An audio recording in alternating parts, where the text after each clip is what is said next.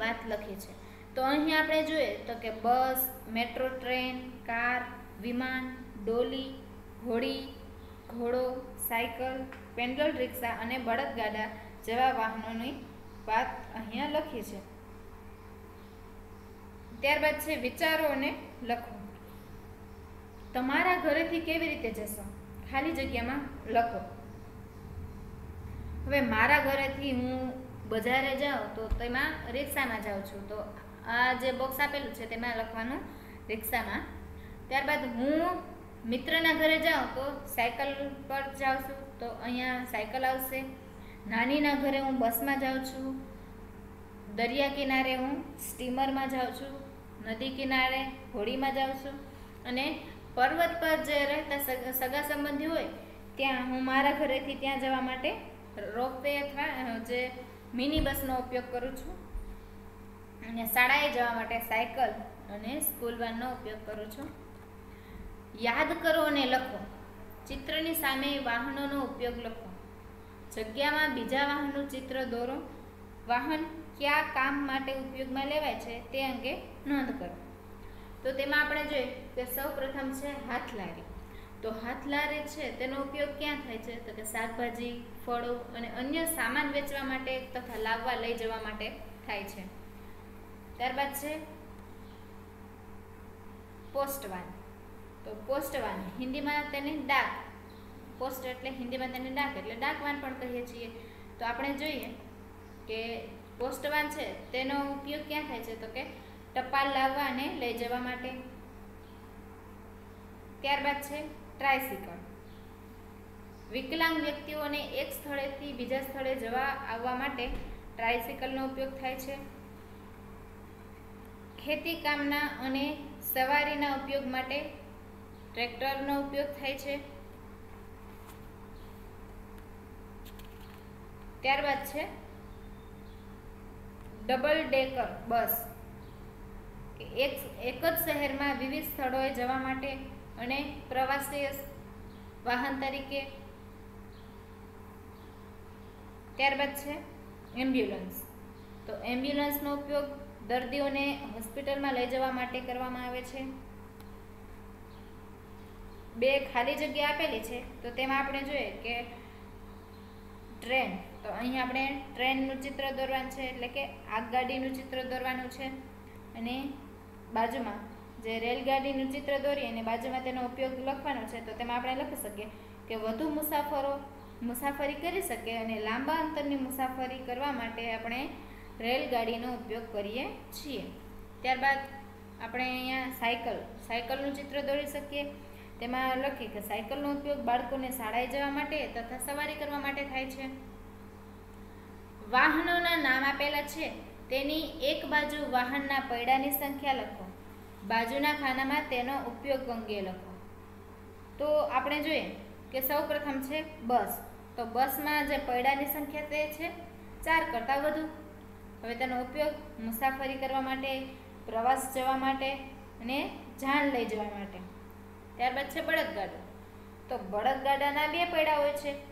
તેની ઉપયોગ શું થાય છે? તો કે મુસાફરી કરવા માટે અનાજ લાવવા અને લઈ જવા માટે અને ખેતીના સામાનની હેરફેર કરવા માટે આપણે બળદગાડાનો ઉપયોગ કરીએ છીએ. ત્યારબાદ છે રિક્ષા. તો રિક્ષા આપણે, રિક્ષામાં ત્રણ પૈડા હોય છે. તેનો ઉપયોગ આપણે મુસાફરી કરવા માટે અને સ્કૂલે જવા માટે કરીએ છીએ. ત્યારબાદ છે મોટરગાડી તો આપણે જોઈએ કે મોટરગાડીનો કેટલા ચાર પૈડા હોય છે. આપણે મુસાફરી કરવા માટે મોટરગાડીનો ઉપયોગ કરીએ છીએ.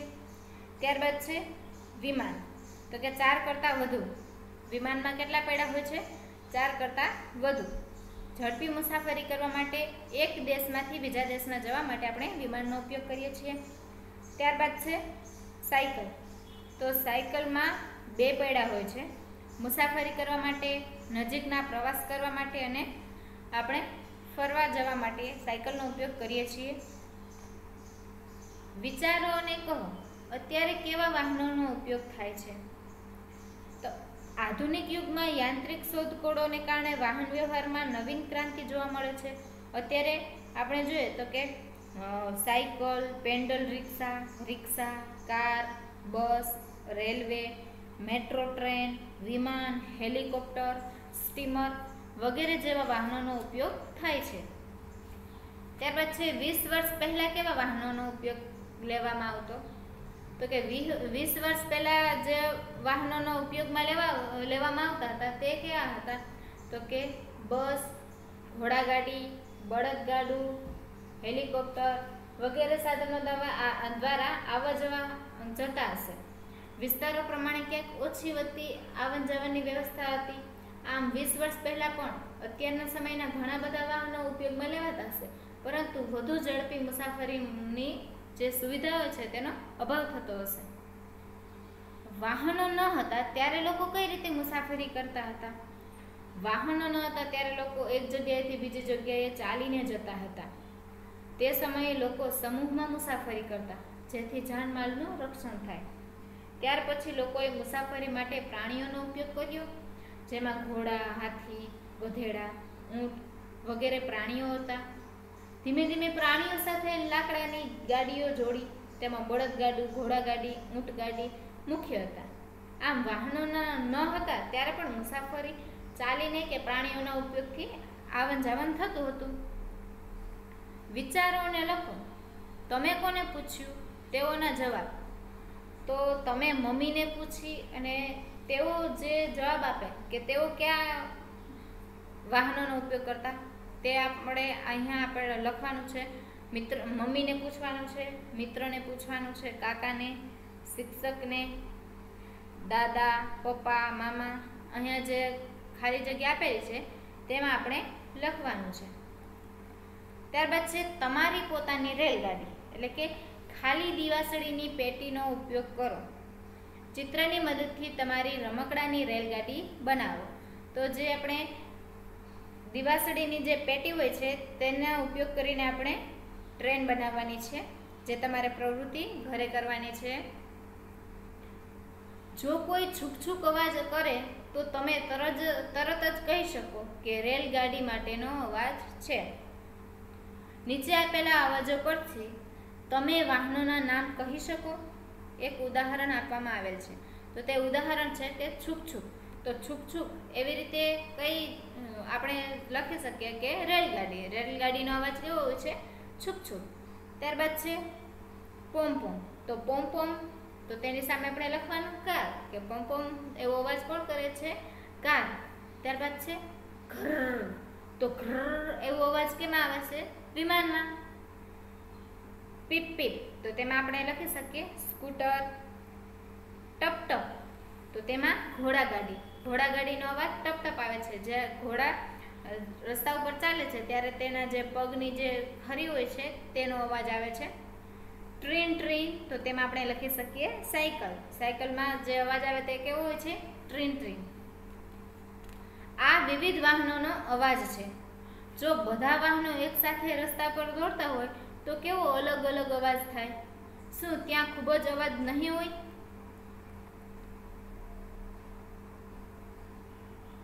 તમે ક્યાં વધારે અવાજ સાંભળ્યો છે? શું તમને વધારે અવાજ પસંદ છે? કેમ? તો કે મેં સૌથી વધારે અવાજ અમારા શહેરની મધ્યમાં આવેલા જે ચાર રસ્તા છે, ત્યાં સાંભળ્યો છે. અહીં ટ્રાફિક વધુ રહેતું હોવાથી વારંવાર વાહનોની ભીડ થાય છે. અને વાહનોમાં વધુ અવાજ સંભળાય છે.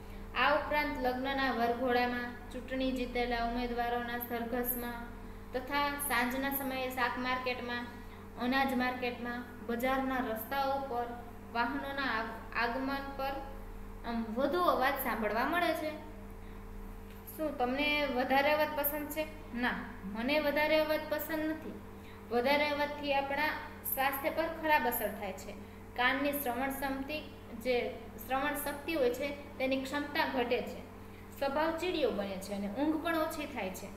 તો આપણે આ નુકસાની થાય છે કે આપણે અવાજ વધારે અવાજ સાંભળીએ તો આપણે ઘણી બધી નુકસાની થાય છે. તેથી મને પસંદ નથી અવાજ. અહીંયા ચિત્ર આપેલું છે. તો તેમાં છે કે ચિત્રમાં શું જોઈ શકાય છે? તો આપણે જોઈએ. કે ઉપરના ચિત્રમાં એક બહુમાળી મકાનમાં આગ લાગેલી જોઈ શકાય છે. આગની જ્વાળાઓ અને ચોમેર ધુમાડાના ગોટે ગોટા દેખાય છે. ફાયર બ્રિગેડ દળના લાયબંબા બહુમાળી મકાનની સામે ઊભા છે. તેના પરની સીડી દ્વારા ફાયર બ્રિગેડ દળના માણસો આગળ આગ બુજાવી રહ્યા છે. ફાયર બ્રિગેડ દળના બે માણસો નીચે પાણીની પાઇપ પકડીને દોડતા દેખાય છે. અહીં એક એમ્બ્યુલન્સ અને એક પોલીસ વાન પણ ઊભેલી જોવા મળે છે. તમે કયા કયા વાહનો જોઈ શકો છો? હું એમ્બ્યુલન્સ વાન, પોલીસ વાન અને લાઈ બોમ્બો વગેરે વાહનો જોઈ શકું છું.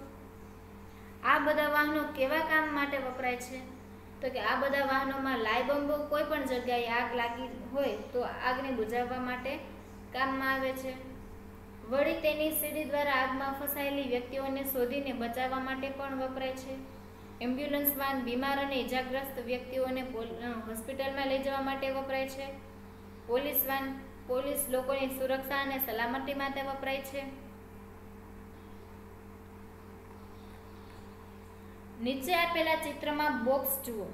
તેની નીચે આપેલી જગ્યામાં તેમને સાચા ક્રમમાં દોરો અને રંગ પૂરો. તમને શું જોવા મળ્યું? તેનું નામ લખો. તો અહીં આપણે જે ચિત્ર આપેલું છે, તે આપણે તેને કોષ્ટકમાં જે ક્રમ એક ઉપર આપેલું છે, તો તે અહીંયા ચિત્ર, આ ચિત્ર છે, તે અહીંયા દોરવાનું છે.